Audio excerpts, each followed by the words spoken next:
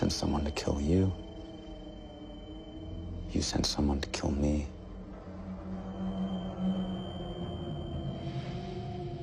Even Stephen. There's no indication that these kids came from abusive families. No, no, no. Capture bonding. It's a uh, passive psychological response to a new master has been an essential survival tool for a million years.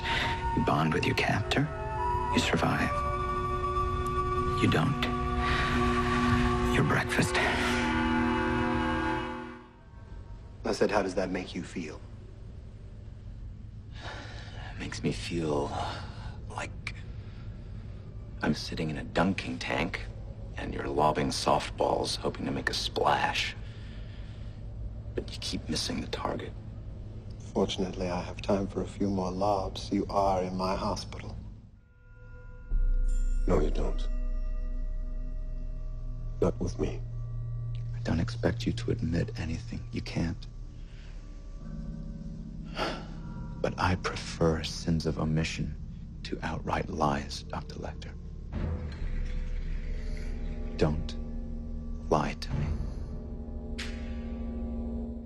I hate him. I envy you your hate. Makes it easier when you know how to feel. What? Nice, what do you do? Killing them. Friendship can sometimes involve a breach of individual separateness. You're not my friend. The uh, light from a friendship won't reach us for a million years. That's how far away from friendship we are. Yeah, so how do you catch a fish that isn't hungry? Change your tactics. Use live bait that moves and uh, excites them to action. You, you got to make him bite, even though he's not hungry. You make him act on instinct. He's always a predator. You have to create a reality where only you and the fish exist. Your lure is the one thing he wants, despite everything he knows.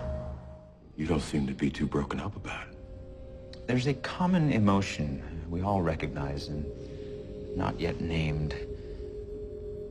The happy anticipation of being able to feel contempt.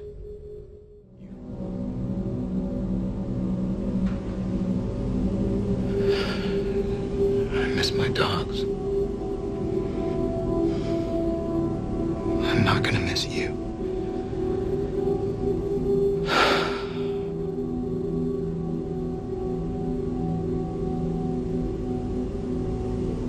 I'm not gonna find you.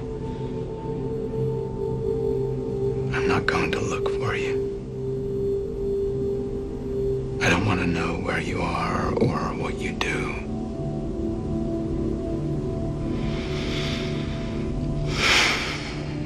To think about you anymore.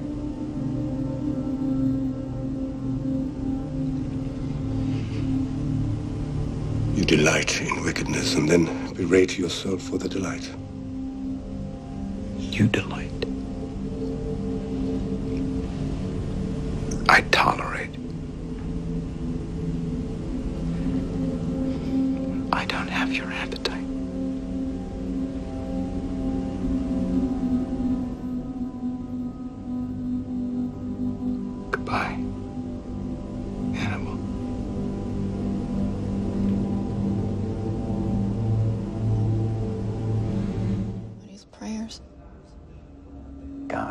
can't save any of us because it's inelegant. Elegance is more important than suffering. That's his design.